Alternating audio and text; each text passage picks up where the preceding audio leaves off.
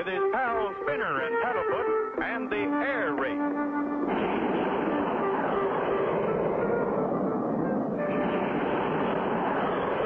Wow, look at Clutch go, Paddlefoot.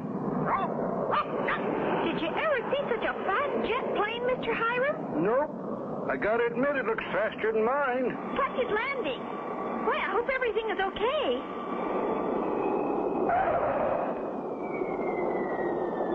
What a landing! Uh-oh. Who's that lady driving out to meet Clutch?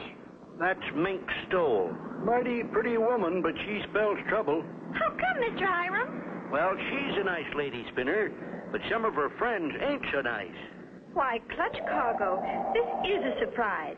And what a beautiful racing jet. Thank you, Mink. We named her Lightning Rod. Lovely name. How fast will she fly? That's a secret, Mink. No pilot will tell the speed of his plane before an air race. How stuffy. Well, anyway, my plane will beat yours, Clutch. There she is, the fastest jet racing plane in the world. I call her the Snark. It looks fast, all right. Who's your pilot, Mink? That is my secret, Clutch. You'll find out when the time comes. See you later. Meanwhile, near the plane called the Snark, a mysterious figure keeps a close watch on Clutch's racing jet. Is our plane all ready for the big race tomorrow, Clutch? Here's a map of the race course. The first leg is from here up across Alaska to the frozen Arctic pylon, then across the ocean to the Oriental pylon, then across the South Pacific back to the starting point. Yes, sir, we'll fly nearly halfway around the world. Is that why you have an extra tank underneath and some of the other planes have them on the wingtips? Right, Spinner. When the extra fuel is used up, we can drop them. How do jets work, Clutch? The jet principle's simple, Spinner. Got a balloon? Sure, the one you bought me this morning. Good. Give it to Hi. Blow some smoke into the balloon, Hi. Sure thing, Clutch. Gosh, is a jet plane like a balloon? They have a lot in common, Spinner. But a jet plane has an air scoop in or near the nose. Now, the air goes in here, is heated up by the engine back here, and is blown out of the tailpipe. Back here, Clutch? Right, Spinner. Let her go, Hi. That pushes the plane through the air. Same as the escaping air pushes the balloon forward. Gee, I get it, Clutch. It's simple. Once you know how it's done. Say, hi. is that your racing plane over there? Yep, she's my lucky eight ball. Yeah? Don't let looks fool you, Spinner. She's a first-class jet racer. I can't tell what they're up to, but I don't like the look of it. I heard that, Ace. Don't be so suspicious. You seem to think everyone's like you. You're right. When I'm in a race, I'm out to win at any cost. That night, Ace Condor slips into Clutch's hangar. Nobody's around. I'll just slip my cable cutter inside the wing. Nothing will happen. Nothing until he gets into the air. Will Ace Condor's sneaky trick cause Clutch and Company to crash in the big race? Be sure to tune in for the next exciting episode with Clutch Cargo.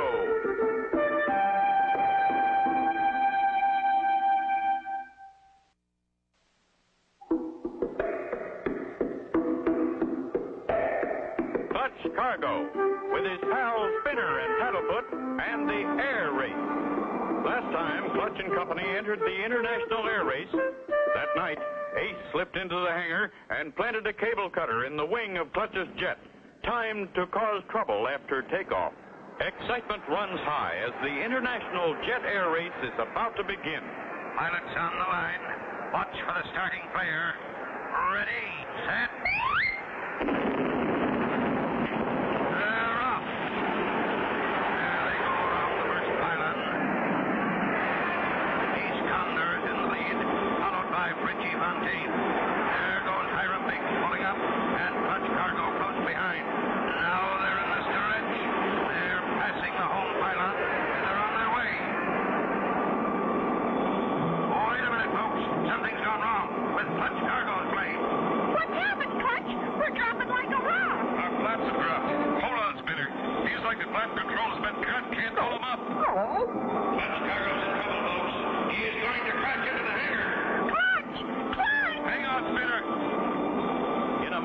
Effort to overcome the drag of the flaps, Clutch rolls the plane onto its back, and the flaps drop back into place. Phew! Missed it!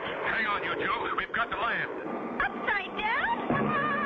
Clutch rolls out right side up over the runway. A beautiful landing. Clutch is down okay, folks. Clutch and company lose no time after repairs are made and are soon back in the air. In lightning rod, he's finally off for the big race.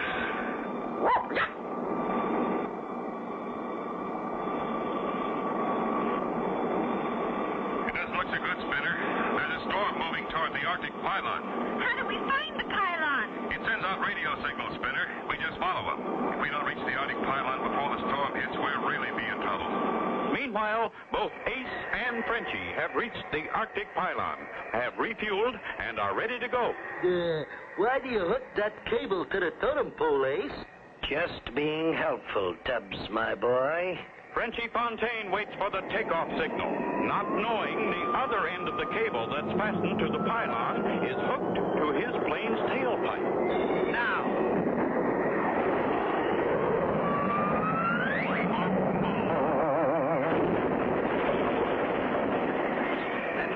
Makes down and two to go.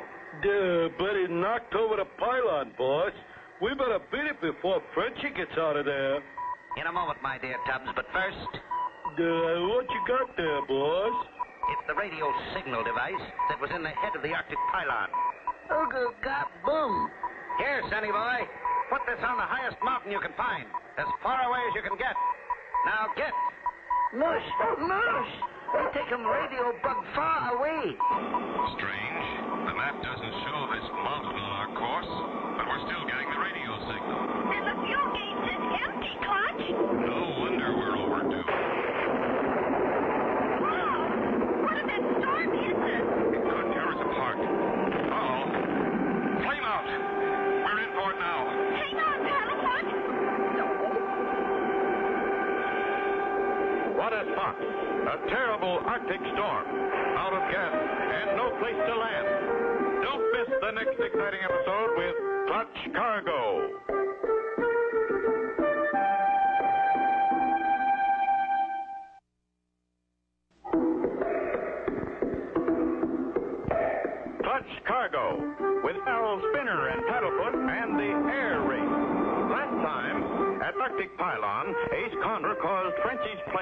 Plane on takeoff. Then Ace tricked an Eskimo in planting a radio signal device on a high mountain, caused Clutch to get lost in the heart of the Arctic storm and run out of gas. Then Hang on here, Sea Spinner. An Arctic gale can be mighty rough. I see what you mean. Here we go! With a tailwind shoving them at a tremendous speed,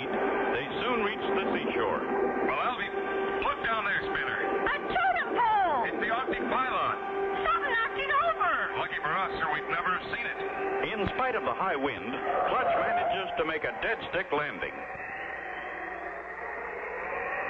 After a quick refuel, they are soon off again, across the Pacific to the Kokomoto pylon in the Orient. And sometime later, at the Kokomoto pylon, Ace Condor takes off in his snark on the last leg of the race, while Hiram Biggs waits to have his tanks filled up. Can you speed it up, friend?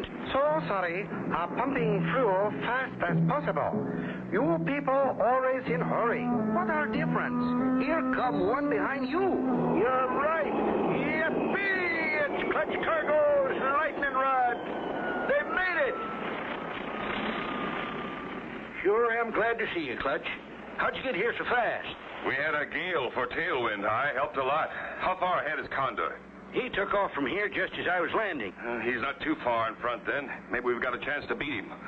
Spinner has wandered over to Hi's plane and sees the man who's been pumping fuel pour something that looks like rice into the fuel tank.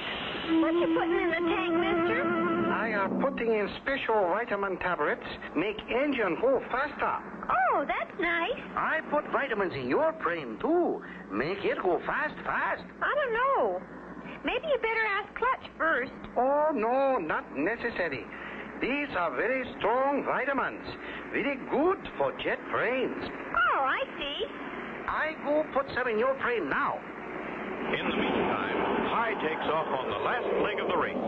So long, Hi. Good luck. Come on, Spinner.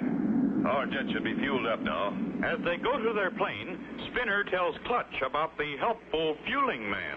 And he's putting vitamins in our plane, too. Vitamins in a jet plane? Where is he? He's the man in our plane now. Hey, what's going on? I make your plane go fast. Who told you to do this? Really nice man told me. He want you all go much fast. Who was it? Mr. Ace Condor. Ace Condor. I might have known it. Did you put any of that stuff in our tank? Not yet, but I got plenty for you. Thanks. We can do without it. Come on, Spinner. We've got to get moving. Clutch and company take off from the Kokomoto pylon and head east across the ocean on the final stretch. Do you think we'll catch up to the others, Clutch? We did have a chance, Spinner, until we hit these odd-looking clouds. Oh, my gosh, Clutch. It, it looks kind of like snow. Something's fishy. It doesn't snow in the South Pacific, but I can't see a thing. Unknown to Clutch, Hiram Biggs' plane is above him and just ahead. Hiram is having engine trouble. Stop dead. What the ding boozled? I'm dropping like a rock. Just below, Clutch and company are flying blind, right into the path of Hiram's falling plane. Can Clutch possibly avoid a mid-air collision? See the next exciting episode with Clutch Cargo.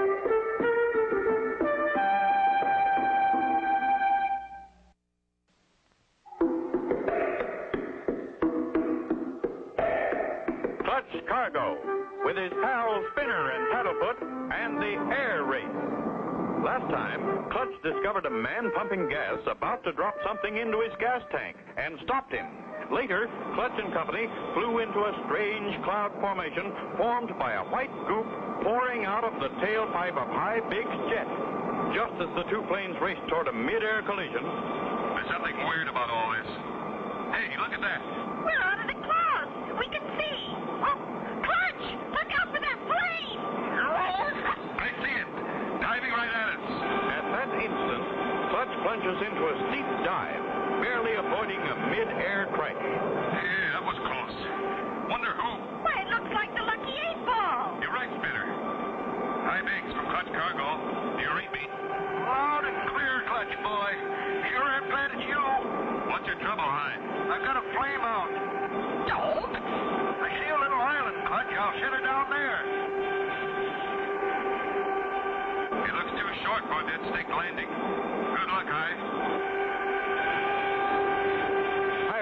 His brakes will not stop him in time to avoid running off into the ocean.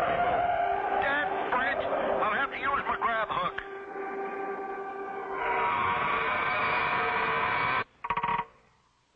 I'm okay, thanks to my grab hook. We're coming down to help you, pal. Don't risk it, Clutch.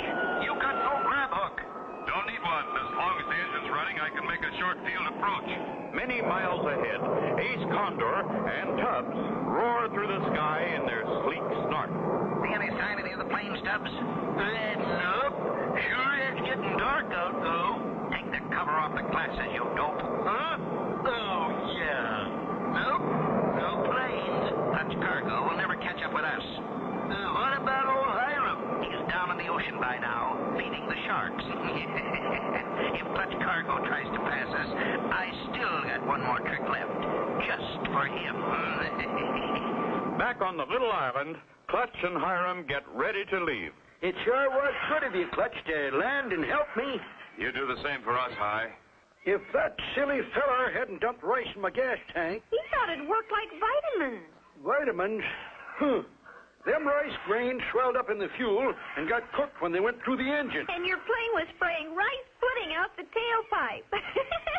How did you happen to have that grab hook on your plane? Oh, I just thought it might come in handy sometime. It sure did. And your plane's ready to fly. Let's go. Okay, Clutch, you hop off first. I'll be right behind you. This tip is really going, Spinner. We're lucky we can still catch up with Ace. And I'm going to drop off our belly tank, too. Here it goes. Now I just push the button and... now we can really go fast. Look, Spinner. See who we've caught up with. Oh, boy, Ace Condor. If we can just pass him, we'll win the race. Clutch's lightning rod creeps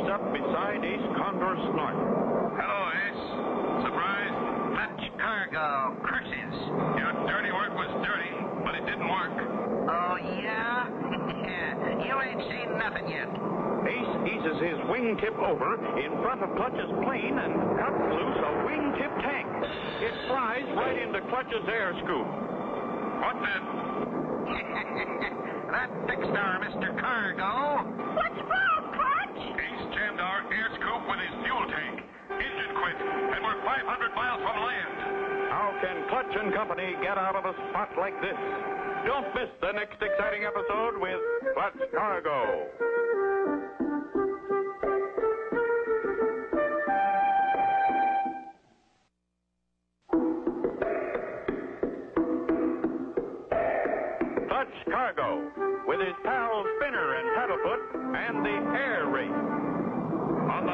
The stretch of the big race, Clutch and Company caught up with Ace Condor. As Clutch tried to pass, Ace cut loose a wingtip tank and Ace jammed our air scoop with his fuel tank. Engine quit, and we're 500 miles from land. Can't get the engine started with that tip tank jammed in the air scoop. Got to put her down in the ocean spinner. Looks like we're going to have to swim. Hold on. I beg, Mr. Clutch Cargo. I saw what happened. Hiram flies up ahead of Clutch, then cautiously eases down just ahead of Clutch's nose.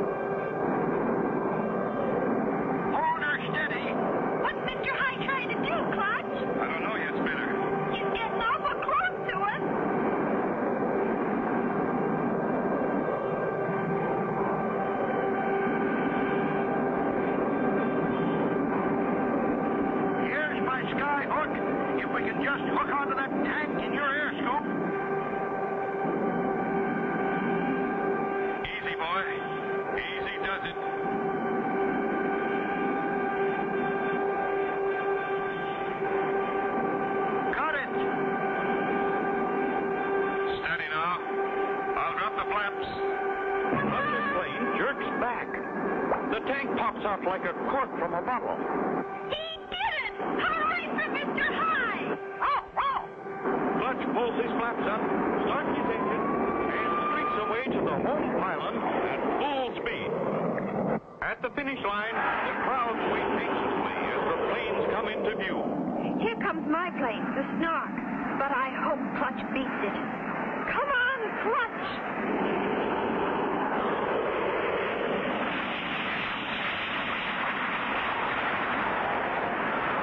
Ace tries every trick in the book to keep Clutch behind him. Pulling up or dropping down, Ace stays in front, blocking Clutch. There's the home pylon, Clutch. If Ace passes it first, he'll win the race. There's only one way left for outsmart Ace Condor. Hold on, Spinner. Here they come. They'll reach the home pylon in a matter of seconds. Look at that. Clutch has dropped low over the ground. Ace is down there, too. Unless they pull up, they'll both crash into the pylon. Ace Condor pulls up. Clutch Cargo wins. Congratulations on winning, Clutch. Thank you, Mink. I deserves the credit. He lost the race helping Spinner and me. If you hadn't stopped to help me, I'd still be sitting out on that island in the middle of the ocean. Look at Ace Condor and Tubbs. They're crawling down the runway on their hands and knees. What are they up to now? They ain't up to anything, Clutch. They're down to picking up pebbles and rocks off the runway. It was that or go to jail. I forgot you're a deputy sheriff, Mr. Hi. Yep, it'll take them six months. And they won't fly anymore. When I found out they were cheating, I fired them. Aside from those two, it was a great race. And Spinner, now that you won, what do you plan to do with the trophy? Golly, I'm going to fill it with the biggest ice cream soda anybody ever had. And get a long straw for Paddlefoot. And so ends the story of Clutch Cargo with his pals Spinner and Paddlefoot and the air race. Be sure to join us again for the next exciting adventure with Clutch Cargo.